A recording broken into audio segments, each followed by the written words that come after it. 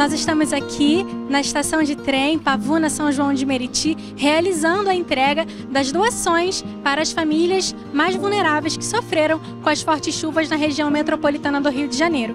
Eu converso agora com o Gustavo Borne, ele é representante do Museu do Grafite em Rubens Paiva. Gustavo, você pode falar para a gente, por favor, qual é o perfil dessas famílias que recebem as doações da Legião da Boa Vontade hoje?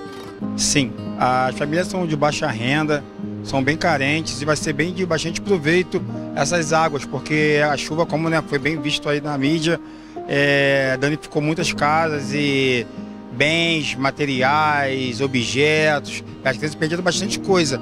As pessoas recebendo com alimentação e essas águas vão ser muito bem-vindas para a nossa comunidade. Vamos agradecer a Legião da Boa Vontade.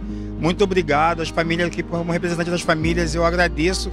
E com certeza as crianças, as mães grávidas, as vozinhas, todo mundo vai ficar muito feliz.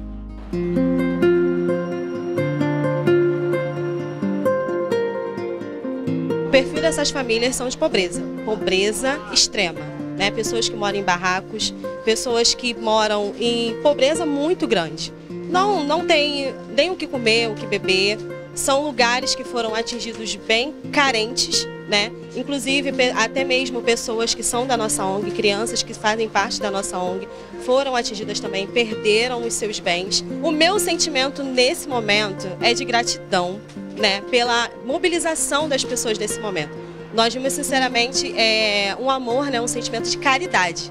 A gente vê aí a comunidade, as pessoas mesmo, elas se mobilizando. Isso é importante, saber que a gente faz o bem sem olhar a quem. Em nome da nossa equipe do Recriando Raízes, nós estamos aqui para agradecer a todos vocês que estão aí doando, a Supervia, do Metro Rio. Galera, vocês são nota mil, vocês são nota 10 e ó, juntos somos mais fortes.